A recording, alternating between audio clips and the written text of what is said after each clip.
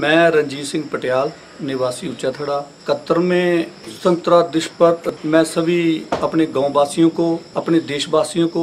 हार्दिक शुभकामनाएं देता हूं और आशा करता हूं कि हमारा देश हर साल इसी तरह तरक्की की ली पर चलता रहे और सबके लिए ये कामना करता हूं कि हमारा आने वाला समय खुशियां लेके आए खुशहाली लेके आए और देश हमारा तरक्की करे और तो इसी संदेश के साथ सभी अपने गाँव वासियों देशवासियों को बहुत बहुत शुभकामनाएं बधाई देता हूँ